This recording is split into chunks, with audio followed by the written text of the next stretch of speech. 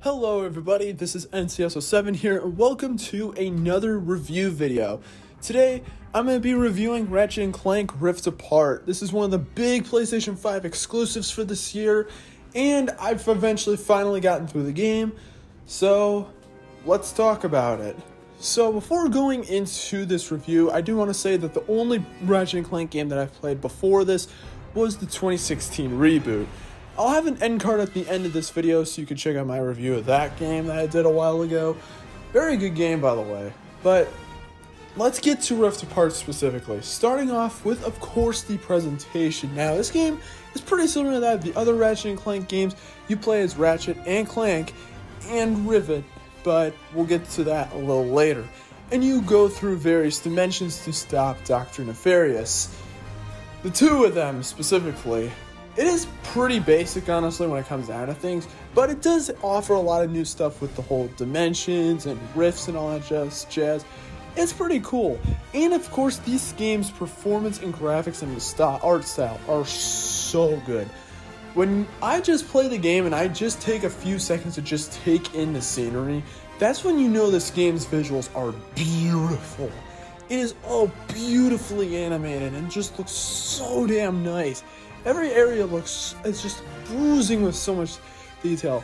And it's just so good, especially given the fact that the game can run at a solid 60 FPS. Thankfully, the game has multiple modes, so you can have like a fidelity mode where it's 30 FPS, but the visuals are better, or 60 FPS where it's all much more consistent, but the visuals aren't as good. But it's so unnoticeable though that it really doesn't make much of a difference. Playing it in 60 FPS mode though is so damn beautiful. So good. So presentation wise, it is very, very good.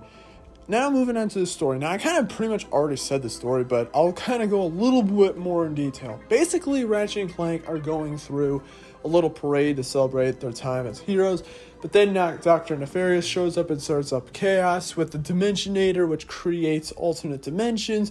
Eventually find out that there's actually another Lombax known as Rivet who lives in a different dimension. Eventually, Ratchet and Clank get separated from each other, and Clank ends up finding Rivet, who's a little wary of him but does eventually warm up to him as they embark on their journey to find Ratchet and regroup, as well as Ratchet trying to regroup with Clank.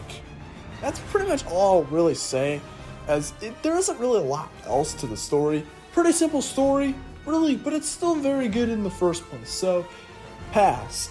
Good story. Now, of course, onto the game aspect of the game. it's very similar to that of the other Ratchet and Clank games part platformer, part adventure game, and part shooter game.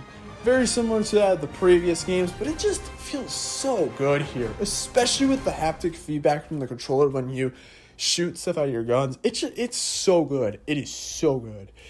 Honestly, I like the gameplay here much more than that of Ratchet and Clank 2016, and there really isn't that much different from that game with this game. It is a little different as sometimes now you can like get these rifts in the world that you can attach yourself to by pressing L1, which is pretty cool, but it isn't really that groundbreaking. But it really is fun to play. It just feels super smooth, especially with 60 FPS mode it's it's just a lot of fun. And it's, and it's like and it's not just combat that's fun. It's also just traversing the world is fun as well. Especially since holding R1 you can use like these hover boots that can get you around a lot more efficiently. It is so nice when you're trying to backtrack and whatnot. It just works so well. Honestly, gameplay wise, it really isn't a deep game when it comes to gameplay but it is so good. It's just so good. Insomniac clearly knew what they were doing with the game, and they focus on simple simplicity because simplicity is nice, and that's what they went for. And in terms of any real complaints with the gameplay, I think the only thing I can really think of is the fact that you can buy various weapons. However, you don't buy specific weapons for specific characters. So if you get something for Ratchet, you get something for Rivet as well. They both share the same account basically in the shop and the same abilities. So there is that, which I could see some people thinking is a bad thing. But honestly, eh, it's not really a big issue, honestly. I think it's fine enough. It means you don't have to stress so much I did kind of think before the game would come out that Rivet would be like have character special abilities, but not really. Both her and Ratchet play pretty much the same in the end, which is a little sad. I think they could have went more into the character specific abilities, but it's not a super big deal because the game is still fun all around anyway. So who cares? Well, it could maybe be something I could do in a sequel. But in terms of like exploring the world, it's just so much fun to do, and it's so much fun to find collectibles and stuff like that. It's it's just so good. In control wise, it's obviously like completely fine with controls, but of course, this is a PlayStation 5 game, so does the game use the adaptive triggers and haptic feedbacks well? And that is a yes. The game does use haptic feedback very well. As I said before, it is just so good. It feels so good with the DualSense controller. It definitely feels like this game was made for PlayStation 5. Now moving on to the content. The content of the game was pretty good. It took so it took me around like 15 hours to beat the game. 20 hours I'd say, somewhere around there, which is pretty good, although I do still need to platinum the game, which I'd assume is like an extra 10 hours I'd say. But yeah, very very good game when it comes to content it is a $70 game right now, so I don't know if it's necessarily as much as you want to pay considering like Ratchet and Clank 2016 is only 20 bucks and that game has like its own has pretty much the same amount of content, but honestly, I don't know. Ratchet and Clank Rift Apart it comes down to a lot of things cuz I don't think games price comes down to necessarily just the amount of content it delivers, but also just if it's fun or not and how unique of an experience it is. And I think that's what it really comes down to. If the game is fun enough for to warrant that $70, but I'm getting ahead of myself. Content wise, the game is absolutely really good. And the music for the game, it's fine. I don't really love the music at all. It's, it doesn't really stick in my head much at all, but the music is pretty good for what it is.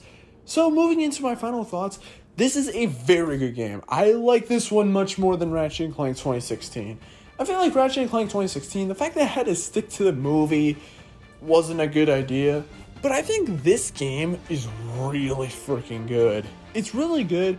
I do want to get back to it eventually to play more of the other stuff for the platinum. I do plan to do it eventually. But yeah, I don't really have much else to say. It was a really fun experience. Would 100% recommend it to you all. Unless you are like most people and don't have a PlayStation 5 yet, in which case, I feel bad for you. But if you get a PlayStation 5, absolutely play this game.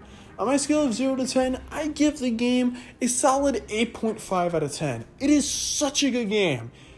Absolutely worth playing. And Insomniac, if you're watching this, really freaking good game. They they know how to make really good games. I've noticed. But anyways, those are my thoughts. What are your thoughts? Let me know in the comment section if you guys have different opinions. And if you guys have enjoyed this video and want to see more Ratchet Clank stuff in the future, then please consider hitting the like and subscribe button. And I will see you guys next time. Peace!